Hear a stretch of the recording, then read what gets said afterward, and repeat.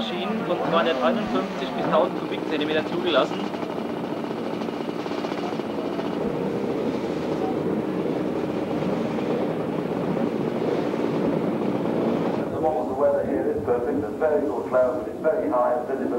Und hier der Start. Die 1 trägt Norman Brown, die 2 ist Steve Tonkin. Das Klassikrennen ist vergleichbar mit der Formel 1. on this occasion to make sure it unlocks the undisputed prices of the GT30. But although, as there's many others in the race, of course, uh, we can support the privateer Chris Guy on the Roger Marshall combo, and having quite a week at number one in the program, Norman Brown, and mention but a few. I'm having a few very shortly it will be Webb Morris. Thank you very much indeed. Attention mounting and indeed looking now at the timekeeper Norman Brown, number one, and alongside him number two Steve Tonker. The flag raised any moment of the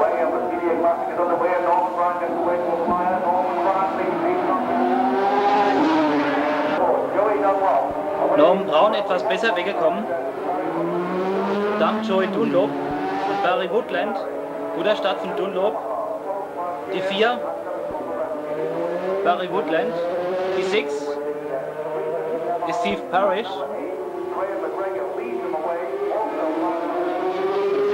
Die 5. Eckerold nicht am Start. Die 8. Graham McGregor. Die 9. Dave Hitchcock. Und die 10. Mick Grant, wieder 11, Roger Marshall, die 12, Charlie Williams, der letztes Jahr hier die Classic gewann, die 13, Chris Guy, die 14, Bernard Murray, die 5, Geoff Johnson, die 16, Sammy McLennan, wieder 17, Klaus Klein, die 18, Rob McElney, die 19, Dennis Highland, der letztes Jahr die Classic gewann, die 20, Steve William. Und hier Mike Waterbridge, Condor, 21, Joy Dunlop in Führung.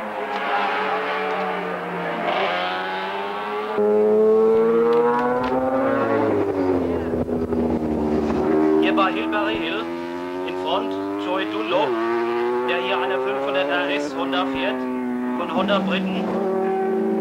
Das ist die dreizylindrige Production Racer, Zweitakt natürlich.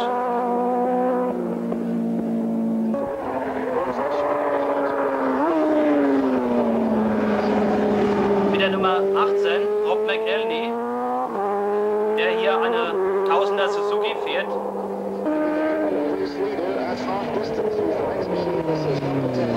Die 9 ist Dave Hitchcock, auch auf einer 1000er Suzuki. Dahinter Charlie Williams auf einer Yoshimura Harris. Und hier Roger Marshall, die 11, der Teamgefährder von Joey Dunlop, auch er auf einer Dreizylinder, Zweitakt Honda vom britischen Importeur. 4 ist Barry Woodland auf einer 500 Kubikzentimeter Zweitakt Suzuki. John Eggerold, der letztes Jahr bei der Classic den zweiten Platz belegte, war mit einer 500er Kakifa gemeldet, aber war nicht am Start erschienen. Ich vermute Probleme mit der Maschine.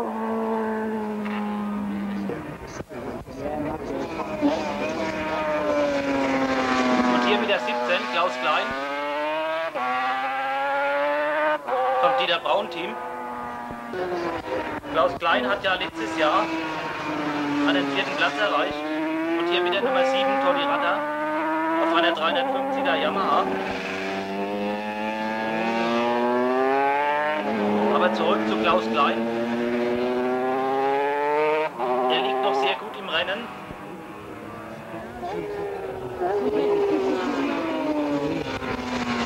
Die 27, Steve Henshaw, an der 2500er Suzuki.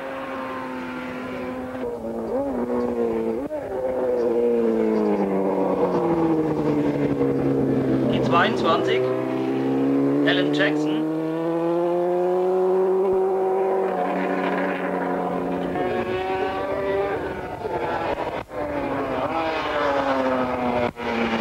Die 24, Bill Miller von der 500er Suzuki.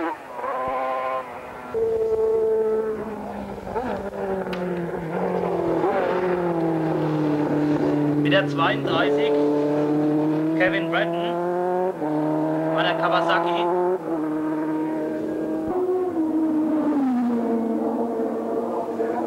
Mit der 16 Sammy McClemens.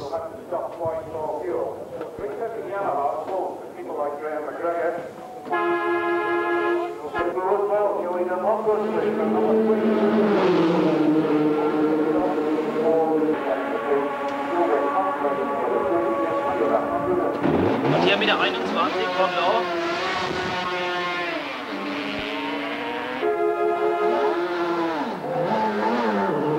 Die 28 Stephen Carl.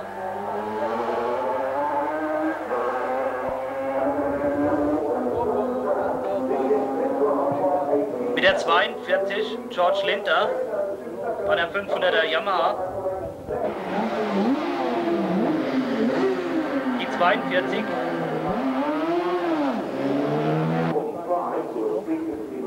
gut weggekommen.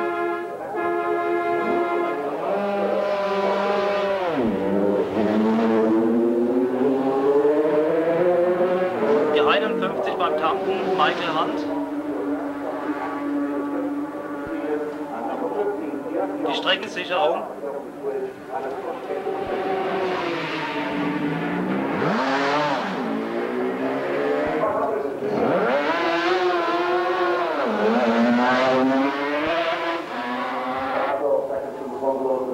Und das aus für Sammy McLemmon.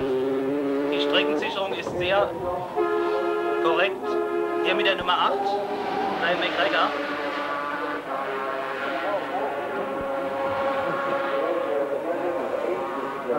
Die 14, Bernhard Murray.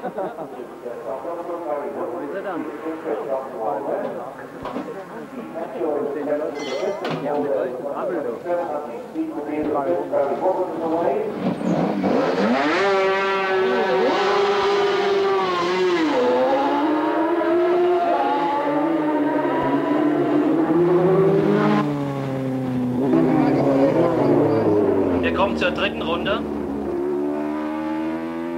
Joy Dunlop weiterhin in Front.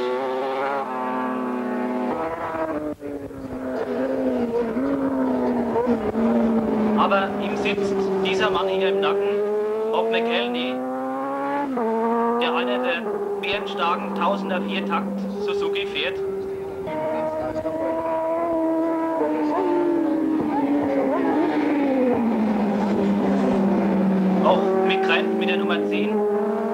im Rennen.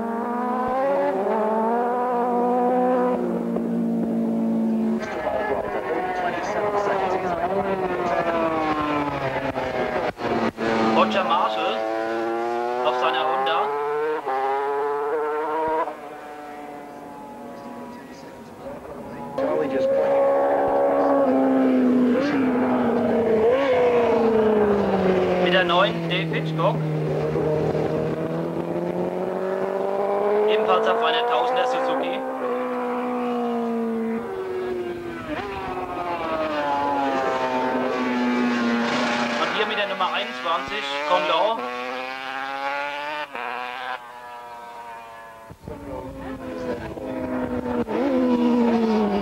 Dann an Kirchen.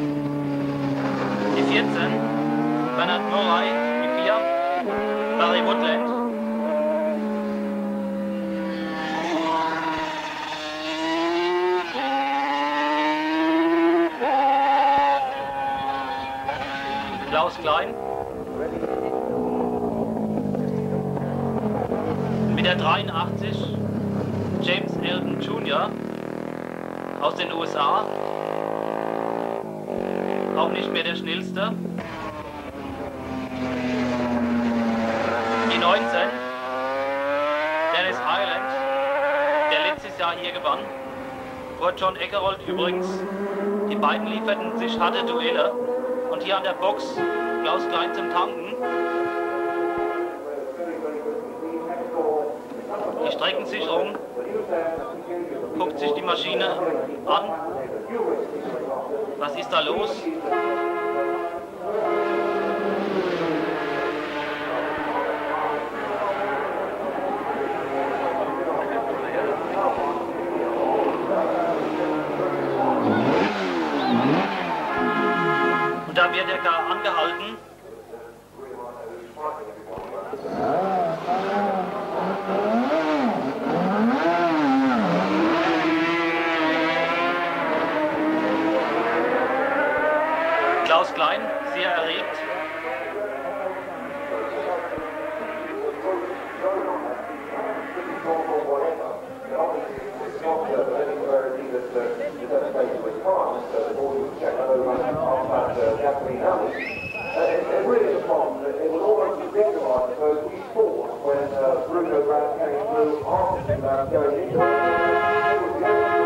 Er wird disqualifiziert.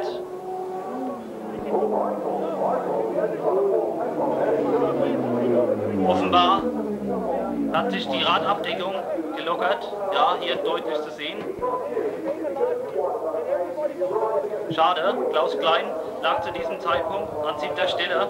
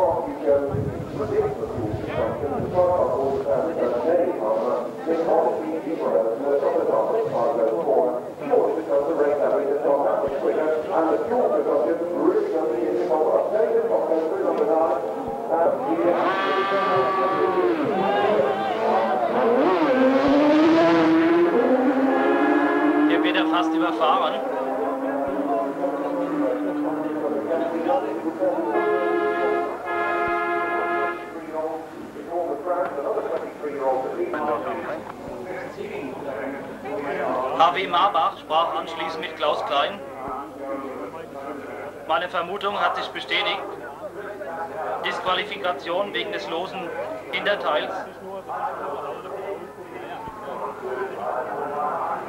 Klaus Klein ist darüber sehr ärgerlich.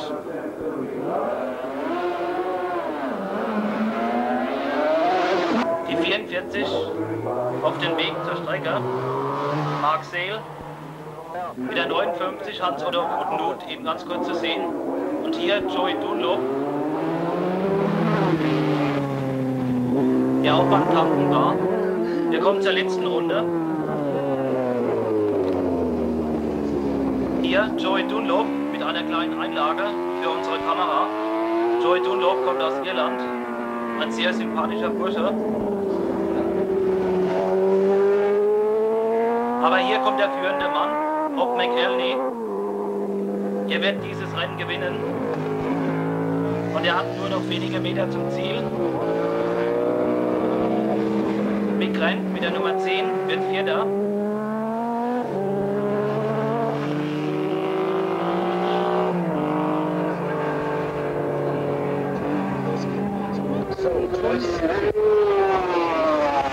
Und hier kommt Von Lau, die 21. Der belegt am Ende Platz 2.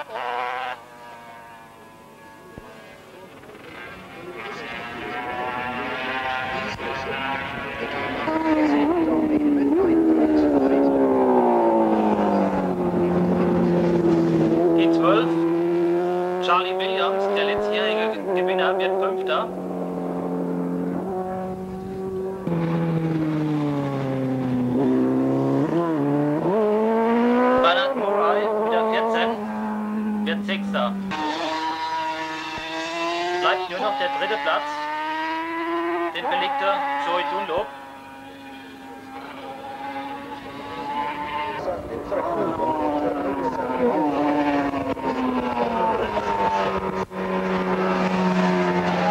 Mit der 28 Stephen Call.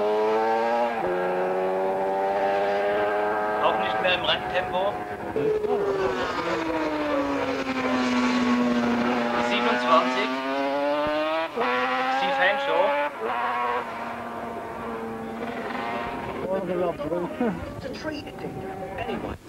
Und hier James Elton Jr., dem der Motor festging.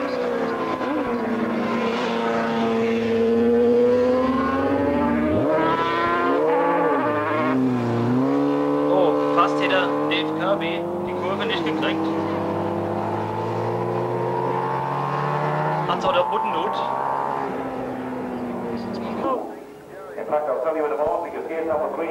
Yes, on the road. Joey Dunlop.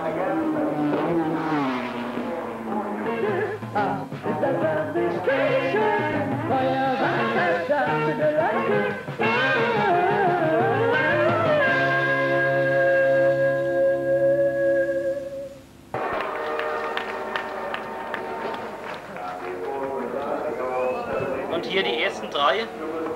Links Conlor, Mitte Rob McElney und rechts Joey Dunlop. Damit geht eine großartige Rennwoche zu Ende, die guten Sport brachte. Das Wetter war in der Trainingswoche davor allerdings schlecht.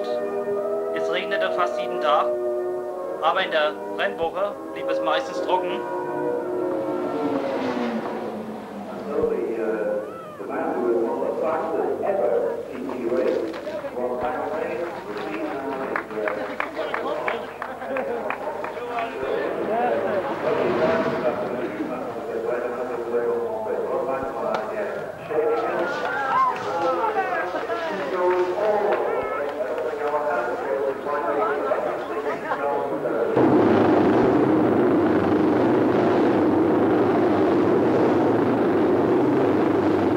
Anschließend erfolgte die Classic-Parade mit den herrlich restaurierten alten Rennmaschinen. Und mit diesen Bildern möchte ich mich von Ihnen verabschieden.